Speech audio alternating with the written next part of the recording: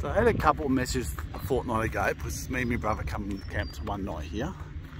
People say, oh, why would you bother going for one night? A lot of hassle. Well, depends on how you look at it.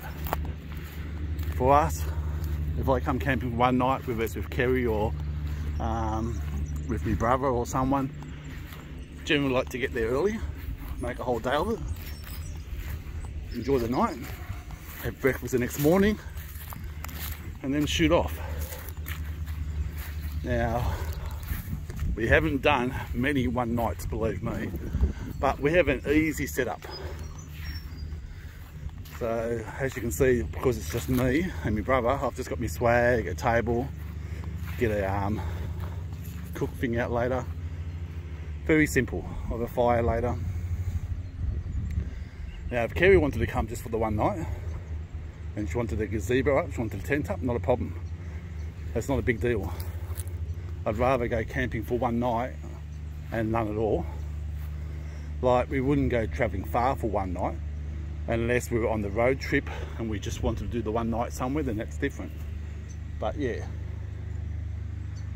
when you've got a good setup, you know what you're doing, um, it's quick and easy.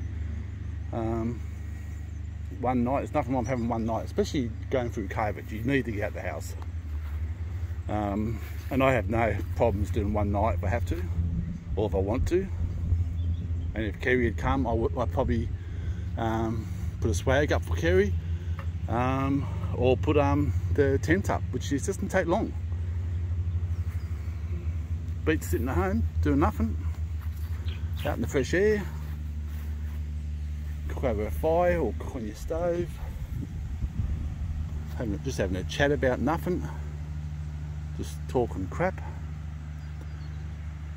You might see some fellow campers, you might have a hello, say hello to them, you might have a bit of a chat to them. And that.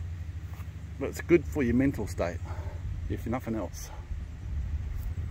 So that's about it guys. Cheers.